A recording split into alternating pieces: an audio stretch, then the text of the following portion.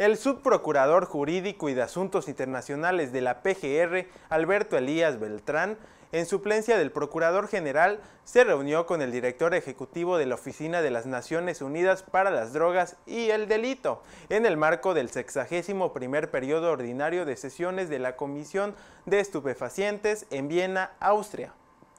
Los temas abordados por Elías Beltrán incluyeron el seguimiento de proyectos relacionados con el tráfico ilícito de migrantes por tierra, mar y aire, así como el monitoreo y recolección de información sobre cultivos de droga. De igual forma se trató la adhesión de México a un proyecto copatrocinado por la Unión Europea por medio de la cual la PGR fortalecerá las actividades de cooperación interregional entre América Latina, África y Europa para combatir a las organizaciones delictivas transnacionales.